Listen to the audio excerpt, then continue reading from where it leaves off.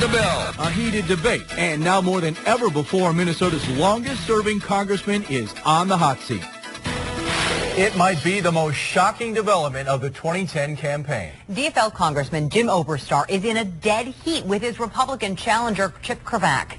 Good evening. I'm Leah McLean. I'm Bill Lunn. Oberstar has been nearly untouchable for decades, but not anymore. Five Eyewitness News reporter Tom Hauser has our exclusive KSTP Survey USA poll. Tom? And Bill, I have two words for you. William Pittenger. He is the last Republican elected to Congress in the 8th District, and that was back in the 1940s. Republican Chip Cravaack is trying to end a 66-year losing streak and just might have a chance. I'm Jim Oberstar, and I approve this ad.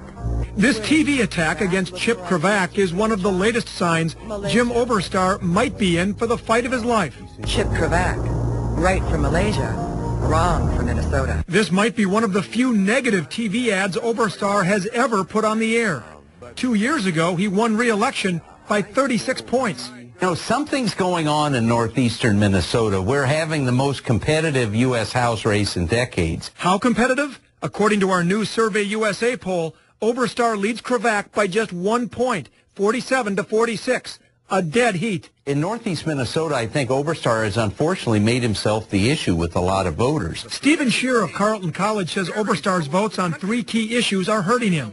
Health care, cap and trade, and federal stimulus funding. Cravaack highlights them in a slick new ad.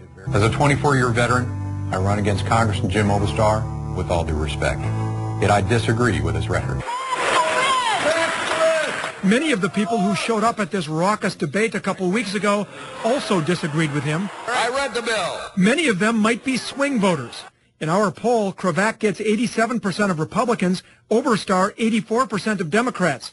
But among independents, Cravaack has a 24-point lead, giving him a chance to become the first Republican to win this seat since William Pittenger in 1944. So just how big of an upset would this be? Oberstar has never received less than 59% of the vote in 18 previous elections.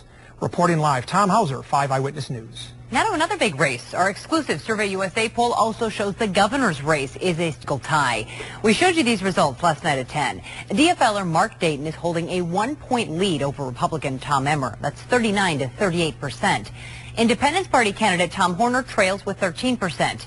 Today we found Dayton campaigning in St. Paul and Emmer out in Minnetonka. We asked them about the poll. It's a dead heat. We've got four days to go. Obviously, the momentum's in our favor.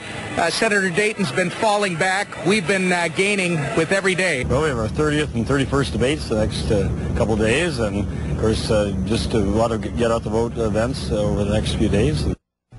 Now to see our past polls and to learn how Survey USA ranks in accuracy compared to some other polling organizations, you can go to KSTP.com and click on links.